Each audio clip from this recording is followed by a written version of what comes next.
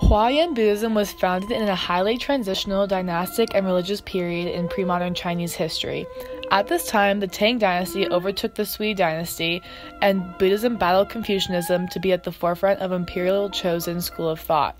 The Sui Tang dynastic transition was a critical time for the formulation and growth of the Huayan school's Buddhist practice. Initially, during this period, the main source of the Buddhist religion came from the Tiantai school, founded by Qi Yi, based on the Lotus Sutra. Although the Lotus Sutra and the Tiantai school were much more popular when the two schools first appeared, by the 6th century, the Huayan school became the more influential branch of Buddhism. Both schools are considered the most theoretical and systematic branches, although there are key differences leading to, to the transition from one to the other. The Huayan school is thought to be a sudden teaching rather than the gradual teaching of the Tiantai school, meaning it is taught as a direct revelation to the truth rather than the truth being slowly revealed through the doctrine. It is also believed that the Garland Sutra, which the Huayan school is based on, presents the Dharma, the Buddha Dharma, in the most per- perfect and purest form. Although Huayan is seen as more exclusive as Tiantai, it became one of the most influential schools of Buddhism at the time. During this turbulent period of transition, Tu Shun brought forth the original doctrine and became the nominal founder of the Huayan school of Buddhism, also known as the Flower Garland school. From there, the doctrine was formulated further by the second patriarch, Qi Yan, who added further teachings of his own. However, the Huayan school was not formally systematized until the third patriarch and acknowledged founder, Fa Sang. Fa Sang used the teachings of both previous patriarchs to officially found the Huayan branch of Buddhism.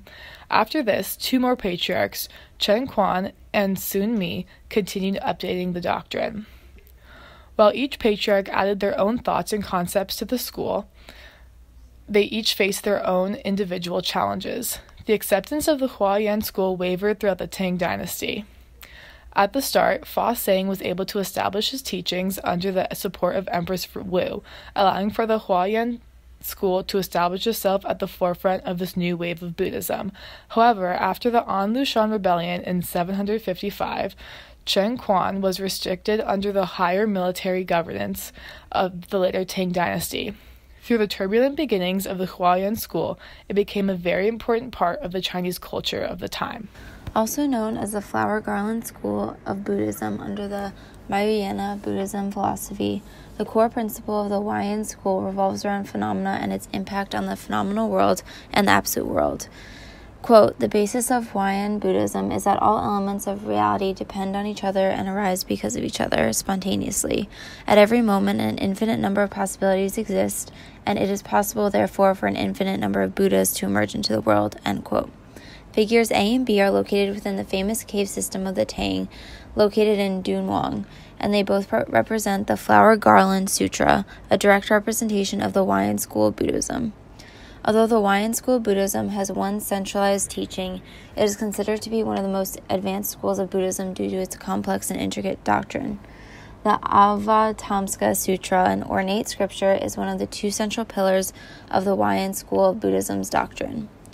Figure C shows one small portion of the Avatamsaka Sutra. At 80 chapters, it is the longest canon in Mahayana Buddhism and is a central pillar to the Huayan school. Figure D is a painting found in the Avatamsaka Sutra as well. The 16th chapter of the Avatamsaka Sutra, Figure E, also provides a detailed painting on silk of a bodhisattva someone who postpones achieving nirvana in order to help others. Dharma Dhatu is the second core pillar of the Huayan school of Buddhism. Quote, Dharma means the upholding law, while the Dhatu makes it possible for the Dharma Dhatu to be related to two seemingly contradictory realms, the phenomenal world and the absolute. End quote. There are four Dharma Dhatus, also known as the four realms of reality the Dharma Dhatu of phenomena, the Dharma Dhatu of principle, the Dharma Dhatu of the non obstruction of phenomena and principle, and the Dharma Dhatu of the non obstruction of phenomena and phenomena. In addition, there are five meanings of Dhatu nature, cause, repository, true reality, and profundity. Figure F exhibits five Buddha representations of these meanings. In relation to figure G, both paintings show a further representation of the ten directions. The ten directions exemplify the balance between phenomena and its consequences.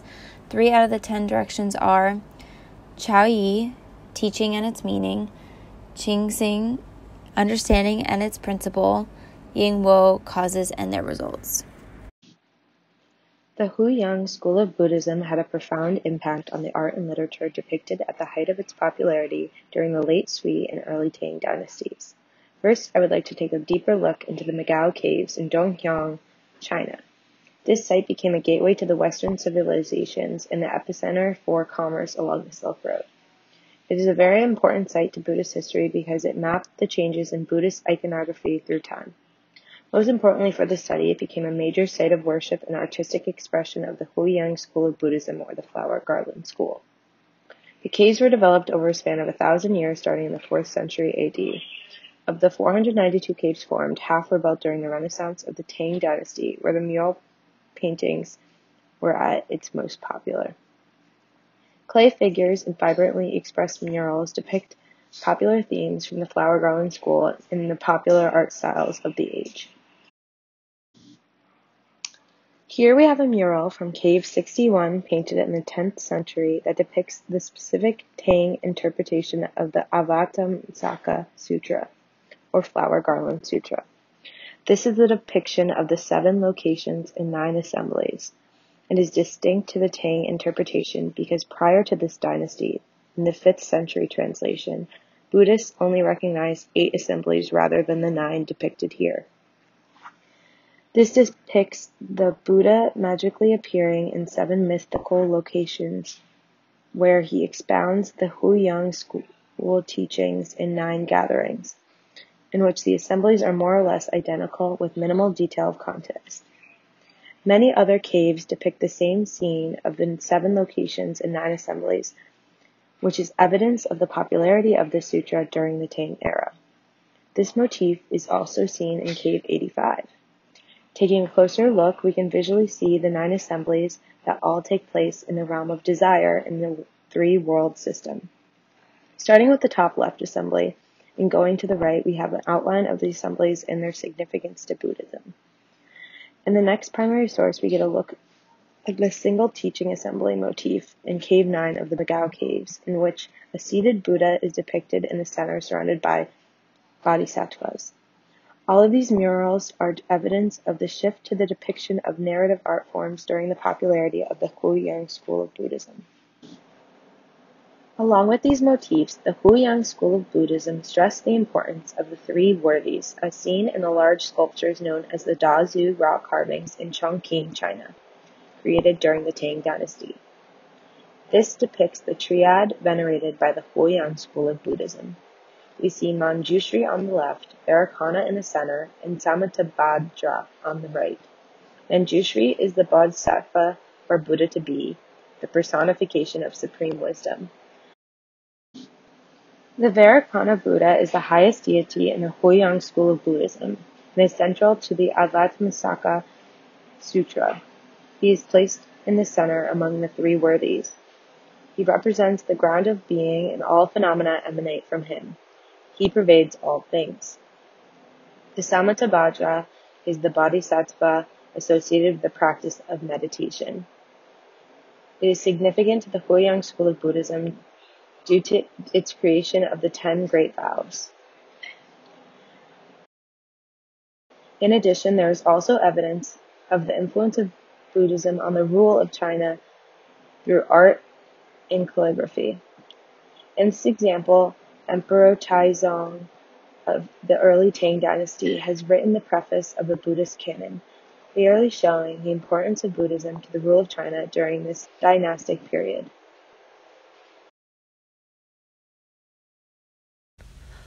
Huayan Buddhism had a major impact on the religion, culture, and politics of the late Sui and early Tang dynasties. The Huayan school of Buddhism not only left a lasting mark on Chinese religion, specifically Buddhism, but also played a significant role in the religious histories of Korea and Japan. Huayan Buddhism in China was essentially ended by the religious purge of Tang Emperor Wuzong in 1843 to 1845. But by that time, it had been established in Korea largely through the writings of Usong, a Korean monk. Huayan Buddhism in Korea is known as Hoyam. In the 8th century, Korean monk Simsang, a disciple of Fazang, transmitted Hoyam to Japan, where it is known as Kegon. Kegon was never a large school, but it still lives on today. While the school no longer exists in China, the doctrines, metaphors, and vocabulary of Huayan Buddhism provide the philosophical foundation for Chan Buddhism, Taoism, Neo Confucianism of the Song and Ming dynasties, and much of the rest of popular East Asian Buddhism. As a result, Huayan Buddhism has a lasting influence and applicability to modern Buddhist practice. During the height of Huayan Buddhism, not only was it a religion, but it was also politically fueled. Fa Zong, one of the five patriarchs, famously became advisor to Empress Wu, who attempted to use Huayan ideology to govern her empire during her reign from 690 to 705. It was through the strong political support from the empress that Fa Zong was able to create a new school that outspread quickly. Just as Huayan Buddhism was able to take off through political power, a political force was also responsible for its demise. Today, the Huayan Monastery is located in Datong, Shanxi, China. While it has been burned down and rebuilt several times, it displays ancient Chinese architecture, sculpture, frescoes, and inscriptions while being a cultural synthesis of religion and politics.